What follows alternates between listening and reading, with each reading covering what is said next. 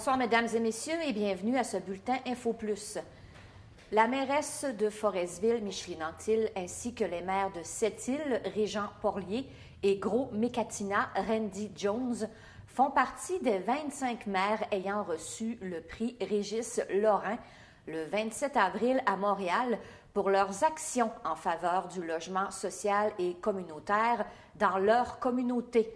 L'Association des groupes de ressources techniques du Québec a décerné le prix Régis Lorrain à 25 élus municipaux qui, par leurs actions, leur soutien et leur détermination, ont fait progresser la cause du logement social et communautaire et contribué au développement d'habitations accessibles et de qualité pour les personnes moins nanties ou vulnérables. La mairesse de Forestville, Micheline Anctil, a partagé ce prix avec toute la communauté forestville-villoise qui a contribué au cours des années au maintien de l'habitation communautaire. Madame Anctil souligne la réceptivité de la communauté à ces projets d'habitation communautaire, une ouverture d'esprit qui porte fruit aujourd'hui. Les élus de Forestville ont adopté une résolution en séance régulière mardi afin de faire une demande d'aide financière auprès de la MRC de la Haute-Côte-Nord dans le cadre de la politique de soutien aux projets structurants pour ensuite aller en appel d'offres pour la construction d'un bâtiment de service au parc Charles-Lapointe au coût approximatif de 40 000 Ce dernier abritera notamment des installations sanitaires. Devant l'engouement pour la balle lente, le conseil municipal de Forestville avait investi l'an dernier dans les lumières et les installations électriques. Cette année, ce sont sept équipes masculines et sept équipes féminines qui disputeront 128 parties au total au cours de la saison 2016. Des investissements totalisant 316,6 millions de dollars dans le réseau routier et dans des infrastructures aéroportuaires de la côte nord pour la période 2016-2018 ont été annoncés la semaine dernière par le ministre responsable de la Côte-Nord, Pierre Arcan, au nom du ministre des Transports, de la Mobilité durable et de l'électrification des transports, Jacques Daou. Selon le ministre Arcan, ces investissements constituent un puissant moteur économique et de création d'emplois. Sur les 316 millions accordés, 305 seront destinés à l'amélioration du réseau routier de la région dont 90,6 millions proviennent de la Société du Plan Nord. Une partie de cette contribution servira au programme d'amélioration de la route 389, compris entre Manic 2 et le barrage Daniel Johnson. En regard de leur nouvelle politique sur les dons et commandites, les élus de la Haute-Côte-Nord ont dévoilé lors de la dernière séance les projets qu'ils ont choisis et qui bénéficieront de leur aide financière en 2016. Fixé à 4 750 dollars au départ, le budget de la politique sur les dons et commandites a été majoré à 9 700 dollars en raison du montant des demandes déposées qui est de plus de 33 000 dollars. C'est en puisant une somme de 5 000 dollars du fonds de la SOCOM que les maires ont justifié la hausse de leur budget de la politique sur les dons et commandites. Puisque la période de réception des demandes d'aide financière pour 2016 a pris fin le 31 janvier, les élus ont pu analyser chacune d'entre elles dans le cadre d'un programme de partenariat aux projets culturels régionaux établis entre la MRC et les organismes choisis le Conseil des maires demande aux organismes de réinvestir les surplus réalisés l'année suivante et de fournir à la MRC un bilan à la fin de l'activité. Des travailleuses et des travailleurs membres du Conseil central Côte-Nord CSN, la table des groupes populaires ainsi que des citoyens et des citoyennes de la région ont occupé la route 172 vendredi dernier afin de protester contre les déménagements de plusieurs points de service et centres décisionnels gouvernementaux de la côte nord vers le Saguenay-Lac-Saint-Jean. Une demande de rencontre avec le ministre responsable de la région, Pierre Arcan, est exigée. La goutte qui a fait déborder le vase, c'est la décision de déménager des laboratoires médicaux dans la foulée du projet Optilab de notre région vers le Saguenay, explique le président du Conseil central Côte-Nord CSN, Guillaume Tremblay. Le projet Optilab vient s'ajouter à d'importantes décisions qui contribuent petit à petit à dévitaliser la Côte-Nord, selon lui. Depuis un certain temps, des postes de direction régionale sont soit abolis, comme c'est le cas au ministère de l'Éducation et de l'Enseignement supérieur, soit fusionnés avec ceux du Saguenay-Lac-Saint-Jean, comme c'est le cas pour le ministère des Forêts, de la Faune et des Parcs et celui de la Culture et des Communications. À cela s'ajoute l'absence de la Côte-Nord sur la liste des régions qui accueilleront les nouvelles supercliniques annoncées par le ministre Gaétan Barrette, ainsi que la problématique criante de la main-d'œuvre indépendante qui travaille sur la côte nord, mais qui retourne dépenser son argent à l'extérieur de la région. Selon Guillaume Tremblay, devant tant de décisions prises au détriment de notre région, il faut se demander ce que font les maires de nos municipalités afin de stopper l'hémorragie. M. Tremblay les invoque de faire preuve de leadership et de concertation dans ce dossier. Depuis quelques mois, un tableau du peintre impressionniste René Gagnon orne les murs de la Maison-Blanche à Washington. En effet, une murale du peintre canadien international fait désormais partie de la collection d'œuvres d'art du président Barack Obama et du vice-président Joe Biden. Confirmant l'information, l'épouse de M. Gagnon, Claire-Hélène Ovington, explique que le tout s'est fait assez rapidement à la fin de l'année 2015.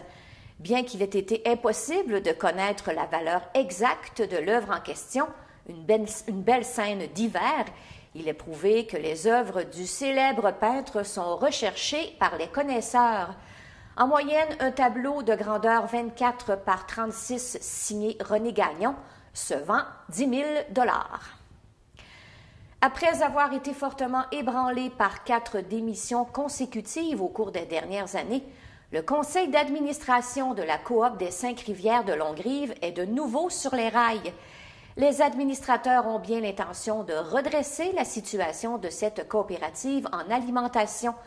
La vice-présidente du conseil d'administration, Chantal Dugas, a joint le conseil d'administration l'an dernier dans le but de donner un coup de main aux administrateurs en place et surtout faire profiter la coop des Cinq-Rivières de son expertise afin que celle-ci puisse redresser sa situation devenue précaire en raison d'une carence au niveau de la gestion. Une assemblée générale annuelle avec un conseil d'administration conforme a été tenue le 13 mars dernier. Des 220 membres actifs de la coopérative, 76 se sont présentés il a été proposé par le conseil d'administration d'accorder la gestion de la coopérative à un groupe de gestionnaires pour une période d'essai d'un an. Des 76 membres présents, 74 ont voté en faveur de cette proposition. Puisque l'entente n'est pas officialisée, il a été impossible de dévoiler l'équipe de gestionnaires pressentis. Rappelons que la station d'essence pose une problématique pour les éventuels gestionnaires du marché d'alimentation puisqu'en 2020, celle-ci devra être enlevée et le sol devra faire l'objet d'évaluation afin d'en vérifier la contamination. À seulement 14 ans, Cassandra Montreuil impressionne encore. Bien qu'elle ait quitté Forestville il y a deux ans pour déménager à Drummondville avec sa famille, la jeune chanteuse prodige demeure très attachée au coin de pays qu'il a vu naître. Au cours des derniers mois, on a pu voir et entendre Cassandra à l'émission en direct de l'univers et à la voix. C'est à titre de membre de l'ensemble vocal Les Gospengels que Cassandra a pu prendre part à deux émissions en direct de l'univers diffusées sur les ondes de Radio-Canada. Derrière le glamour et les paillettes se cache un travail de tous les instants pour la jeune fille de 14 ans qui fait preuve d'une détermination hors du commun. Étudiante dans le programme particulier de danse à l'école Jean Rambaud, celle qui chante depuis l'âge de 6 ans compte bien réaliser son rêve d'œuvrer dans le monde des arts et spectacles. Les derniers faits saillants qui jalonnent l'ascension de Cassandra vers son rêve ultime se traduisent par une participation au concours Musicalité de Mascouche il y a quelques semaines, où elle a été finaliste, tandis qu'elle vient tout juste d'apprendre qu'elle a été sélectionnée pour prendre part à une toute nouvelle émission de télévision à TV5, Le Petit Cabaret, animé par Mario Tessier et qui sera diffusé à l'été 2016. Dans le monde du sport, et bien l'unique représentante du club L'Envol aux championnats provinciaux, Karina Ovington, a su tirer son épingle du jeu à Brossard du 22 au 24 avril dernier. En effet, l'acrobate a récolté une 13e position au final, une excellente performance qui la place parmi les 15 meilleurs gymnastes du circuit civil québécois.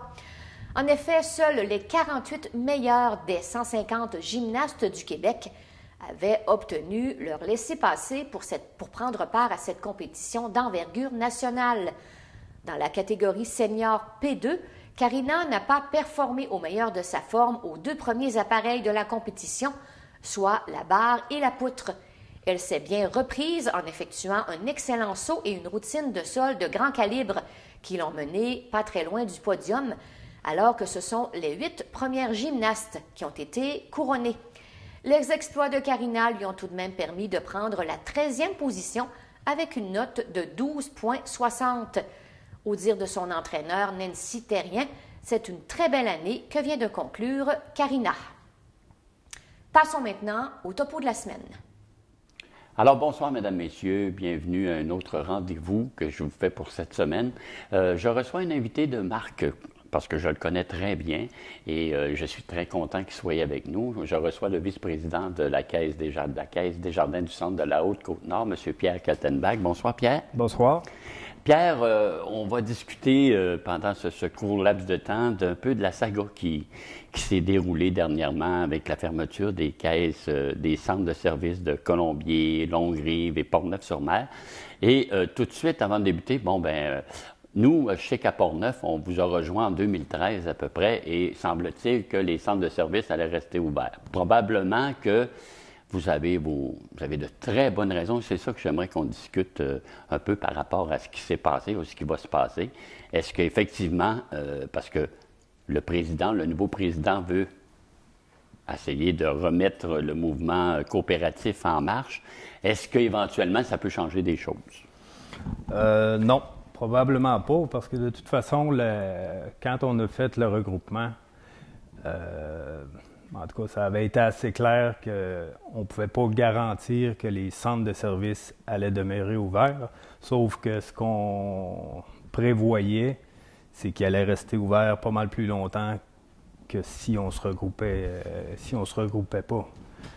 Euh, les conditions économiques ont fait que ben, on est rendu là aujourd'hui, puis ben, franchement, c'est une décision euh, super difficile qui a été prise parce que justement, on, le sait, on, avait fait miroiter aux gens qu'on allait essayer de garder les centres de services ouverts, sauf que... Oui, parce que quand euh, on était, euh, on, était dans, le regroupement, qu'on voulait regrouper les caisses, les administrateurs de Port-Neuf, on était dans, dans ce dans cet euh, conseil d'administration, on, vendait l'idée que, bon, oui, inquiétez-vous pas, vous allez, vous allez conserver votre caisse. Et malheureusement, trois ans après, ben, on, on apprend qu'éventuellement, ça va fermer. Oui, bien, un, ils conservent leur caisse, il faut faire attention. Là. La, caisse à Port-Neuf, comme à Colombier puis à Longrive, c'était, c'était rendu des, ben, c'était des centres de services. Sauf que c'est sûr que c'est ça.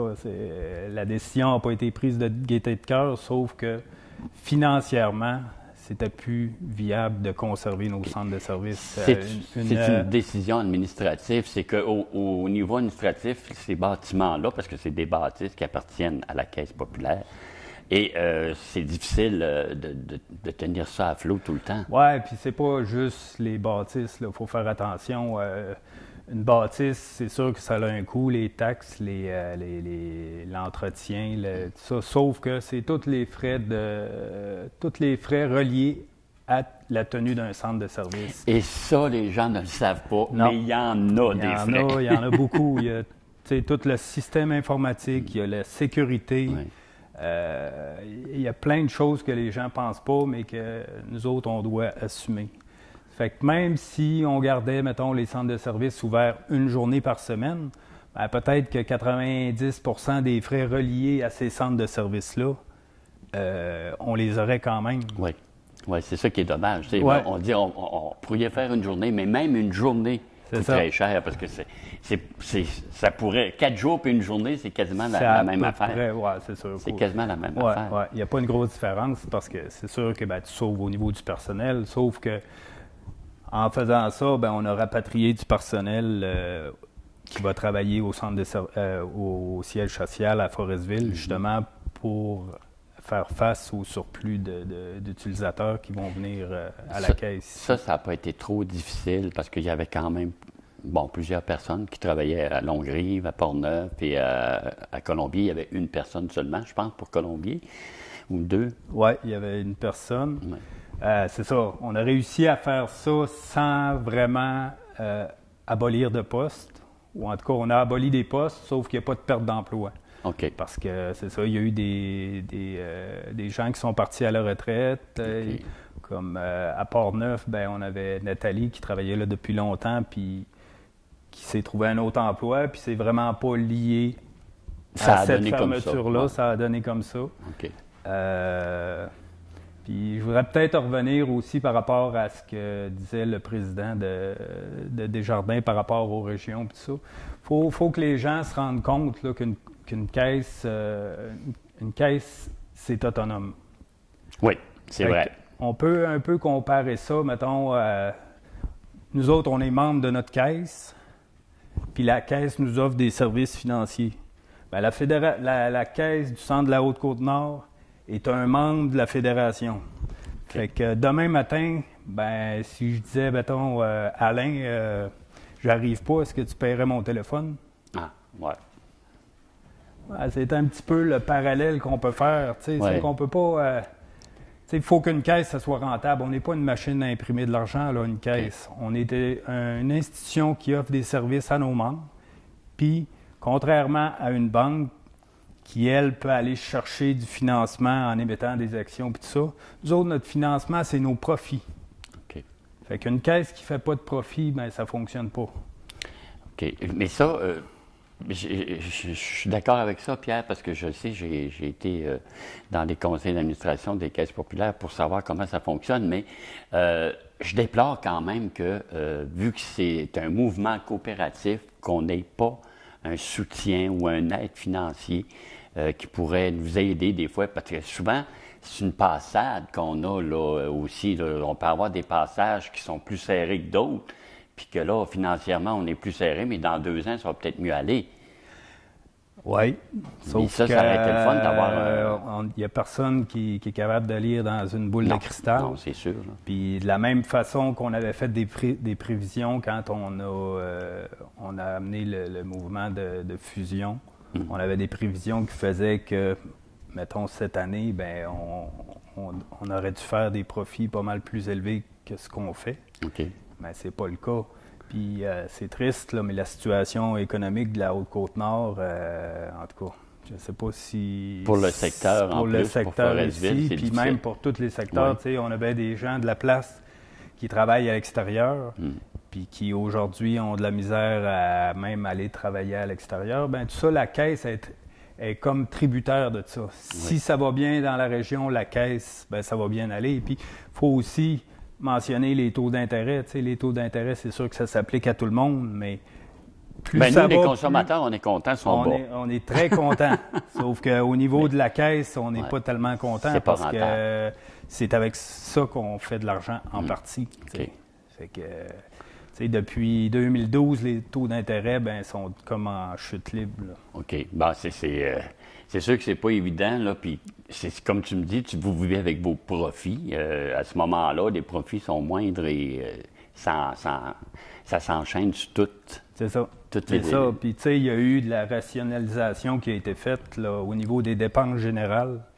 On a diminué de, au-dessus de 500 000 des dépenses. Là, Tu sais, on- le- le- notre directeur général, avec les employés, ils ont, ils ont fait le tour, ils ont, ils ont rationalisé les photocopieurs. En tout cas, je ne tomberai pas dans les détails, mais Mhm, mhm. on a sauvé au-dessus de 500, au-dessus de 500 000 Au niveau des salaires, il y a aussi une rationalisation qui s'est faite. On a 200, environ 270 000 de salaire de moins qu'en 2012. Mais là, à un moment donné, on est une, institution qui offre des services. Puis qui offre nous, les services, ce sont nos employés. On réussit à maintenir un service, je pense, de qualité, mm-hmm. mais on ne peut pas en demander plus à nos employés. Là. Puis, euh, à un moment donné, comme en bon français, on on est, on est rendu sur le fer. Qu'est-ce qui nous reste? On va, comme dépense? On, va passer à une petite pause et par la suite, on revient avec euh, M. Pierre Kattenbach.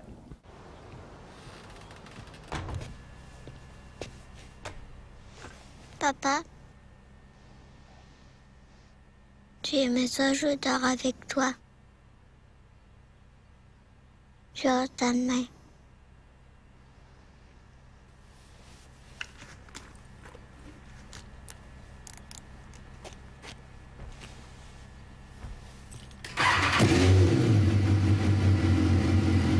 On est de retour, toujours avec M. Pierre Kaltenbach, qui est vice-président de la Caisse euh, des Jardins du Centre de la Haute-Côte-Nord. Pierre, on disait juste avant la pause que, bon, au niveau de la, des employés, de la direction, tout avait été fait au niveau administratif pour essayer de sauver de l'argent. Et même à ça, on n'est plus rentable. Presque pas assez Presque pas. On, on, fait, on, fait encore des surplus cette année, sauf que les prévisions, euh, en tout cas, ça va être difficile l'année prochaine. Là. Est-ce que euh, déjà cette année, tu dis on, fait des surplus, mais est-ce qu'il va y avoir, je sais qu'à un moment donné, euh, on, on remettant en question aussi les ristournes pour les gens. Est-ce que ça aussi c'est en péril ou? Ah, les ristournes, depuis euh, deux ans, on a décidé que, premièrement, ben, on n'a pas des ristournes, c'est pas des montants astronomiques, mais on a décidé de faire des ristournes collectives. Un peu aussi, dans le sens de mouvement coopératif, ben, ce qu'on veut retourner à nos membres, ben, c'est de ce côté-là. Au lieu de remettre, euh, je ne sais pas, moi, si tu as un emprunt de, ton hypothèque à 30 000 ben, tu vas avoir, je ne sais pas, 3-4 pièces de ristourne dans ton compte au mois de, au mois de mars. Ben, on aime autant le réinvestir dans notre milieu, puis aider les organismes communautaires à, à faire des activités pour l'ensemble de la population. Ça fait que depuis euh, deux ans, il n'y a pas de ristourne individuelle. Bon, puis euh, ça, c'est, les gens vont rester euh, tout probablement, depuis deux ans, ça fonctionne comme ça. Mais bon, tu parlais des organismes communautaires. Est-ce que ça, ça change aussi? Parce que je sais qu'il y a beaucoup d'organismes qui font appel à la Caisse des Jardins pour avoir des dons, pour être capable. Et ça, est-ce que vous avez encore ce volet-là qui est actif et qui peut oh contribuer encore? Ça, c'est sûr et certain. À chaque année, on met de l'argent de côté pour le fonds d'aide du développement au milieu, ainsi que pour les, dons et commandites. Euh, Puis ça, ben, on, peut les mettre, mais en fonction de nos moyens. que plus la caisse génère de profit, ben, plus on est capable d'en mettre, parce que avant d'en mettre dans ce fonds-là, ben, il faut couvrir nos réserves, parce que les gens, il faut, qu'on, faut que leur argent soit à l'abri. Puis après ça, ben, on en met dans ce fonds-là. Puis cette année, on a, on a encore été capable d'en mettre. Ça ah. Fait qu'il n'y a pas de problème de ce côté-là. Euh, tant qu'on. C'est comme une priorité pour la caisse de, de s'impliquer dans son milieu, puis ça va demeurer. C'est pas parce que les centres de services ferment que, votre, que les, la caisse. On n'aura plus accès à, des, à, de l'aide financière. De, non, non ça va, c'est la même chose. On a toujours le même nombre de représentants dans chacun des municipalités. La, différence, c'est les points de service. Donc, euh, si, mettons, on se projette un peu dans l'avenir, euh, M. Keltenbach, puis on regarde ça, est-ce que euh, il, pourrait, il, pourrait, il pourrait avoir du danger même pour la... Tu sais, vous m'avez dit tout à l'heure que la caisse, de, la caisse est autonome. Est-ce qu'on pourrait penser que ça pourrait être dangereux pour la caisse de Forestville éventuellement? Non, c'est pas dangereux pour la caisse de Forestville ou en tout cas pour les épargnes des gens, il n'y a, pas de problème. Euh, non, mais tu sais, je pense à, éventuellement une fermeture aussi ou un transfert ou qu'on faudra aller ailleurs pour euh, avoir, euh, avoir accès à des services ou des. Non, ça, c'est sûr que le centre de, la, caisse va tout le temps rester ouverte. Euh, sous quelle forme? Ben, euh, de la même façon que j'avais dit aux gens lors de la fusion qu'on essaierait de garder les centres de services, le centre de services de Portneuf ouvert le plus longtemps possible, ben, c'est la même chose pour la caisse de Forestville. l'idée, c'est de garder notre, centre, notre, notre caisse en région, puis d'en avoir le plein contrôle. Sauf que je peux pas présager de l'avenir. Euh, Je l'ai pas fait en 2012, puis je le ferai pas non plus en 2016. là. Non, on- mais même, je me rappelle, on faisait des, des prédictions pour les cinq prochaines années, puis déjà, on parlait que les centres de services ne seraient plus à la même place dans le temps. En 2012, on Ouais. parlait de ça. Et euh, c'est- en train de se faire, là. Puis ça a été plus vite plus que je vite, pensais. Mais euh, déjà, on, on- on planifiait que les centres de services, quand on voyait les chiffres, c'était pas évident de les garder Non, ouverts. non. Puis tu sais, euh, pour se rendre là, là tu sais, euh, ça, ça a vraiment pas été facile. Puis les années passées, euh, avant qu'on se rende compte qu'on était rendu là, tu sais, on, on, on a fait des efforts. Puis dans le fond, on faisait des efforts peut-être en, en rêvant, tu sais, parce que tu sais, on a modifié les heures de service à Colombier. Oui, oui. Puis, tu sais, il y a eu de la consultation, il y a eu de l'effort de mis, tu sais, puis on n'a pas fait ça pour en, en prévision de, la non, décision qu'on a prise cette année, là. Tu sais, on était Ça faisait sincère- partie d'une restructuration. ça, on puis- Mm. était sincère dans ce qu'on dans ce qu'on faisait. Sauf que cette année, bon, on s'est bien rendu compte que c'était on n'était plus rendu là, là, tu sais, puis fait que c'est ça. Donc, en principe, si on regarde le- le- l'ensemble de tout ça, euh, les centres de services devraient fermer quand, en principe? Ça- la fermeture de- devrait être officielle quand? Les centres de service ferment le 17 juin. Le 17 de juin, donc euh, les gens pourront plus utiliser les centres de services. Il va falloir venir à Forestville, c'est ça? Si on veut euh, retirer du numéraire autre que dans les que chez les marchands locaux, parce que tu sais, Ouais, que ça, aide, ça. Les marchands locaux sont quand Ouais. même là, là, pour certaines c'est ça, choses. on n'abandonne pas les gens comme ça non plus. Là. On est en mode solution depuis un bout de temps, sauf que faut être conscient que les modes solution, c'est pas à sens unique. Si on n'a pas de retour, ben, on peut pas on peut pas faire des choses euh, seul. Ça nous prend des, des interlocuteurs. Fait que euh, c'est sûr qu'on a des contacts avec les commerçants locaux, on leur euh, offre des, des compensations OK. pour pouvoir, mettons, euh, si on. Ah, j'extrapole, Pierre, là, je m'excuse. Ouais. Mais ça pourrait-tu aller, mettons que, bon, il y a une personne âgée, euh, elle reçoit son, son chèque de pension, elle pourrait-tu éventuellement aller le changer dans un marchand local, puis euh, bon, euh, ça pourrait-tu aller jusque-là? Ce qui accommoderait la personne âgée qui n'a pas tout le temps de voiture pour aller à Forestville, là? Oui, ça pourrait aller jusque-là si le, Si si le commerçant local, un, a le- assez de numéraire. C'est sûr que c'est pas une caisse. Non, Donc, euh, tu n'iras pas euh, retirer 500 dollars. Ça me surprendrait. Ouais. Euh, C'est sûr c'est que- sûr que les gens, il va falloir qu'ils se réhabituent, il va falloir qu'ils changent leurs habitudes. Mentalité, oui. C'est ça. Refaire la mentalité. On est en processus dans les caisses, euh, on est en processus. Toutes les gens qui ont des opérations exclusivement au comptoir vont ou ont été ou seront contactés pour voir de quelle manière on peut faire la transition pour que ça, le- ça leur fasse le moins mal possible. Parce qu'il faut, il faut mentionner une chose, et j'étais euh, au conseil d'administration, ça m'avait étonné. Il y a beaucoup de gens qui utilisent l'Internet. Ah, C'est ça- afférent. Tu sais, tu dis, ça se peut-tu? Oui. C'est Mm, comme ça. La réalité est ça. Et dans cinq ans, ça va être pire encore. Ben, c'est ça. Oui. Les, les comptoirs, tu sais, c'est pas pour rien, tu sais, que les centres de services ferment un peu partout, puis euh, qui diminuent même les guichets automatiques. Oui, mais oui, guichets c'est ça. automatiques, euh, tu sais, C'est même pas souviens, il n'y a pas plus, si ça. longtemps, il y a- Ouais. il y a- quand ça a sorti, on nous encourageait à Ouais. utiliser le guichet, utiliser le guichet, lâcher le comptoir. Mais là, c'est plus ça, là. C'est lâcher le guichet, lâcher le comptoir, utiliser Internet. Ouais. Tu sais, C'est la technologie qui est rendue là, puis tu sais, on on n'a comme pas le choix, puis on n'a pas le choix de suivre le- la vague, là, parce que la vague, euh, les C'est banques, partout. c'est partout, Oui, tout le monde. C'est mondial. C'est ça. Fait que, euh, on est rendu là. C'est- sûr que c'est une période de transition, tu sais, euh, mais il faut que les gens, faut que les gens fassent le pas.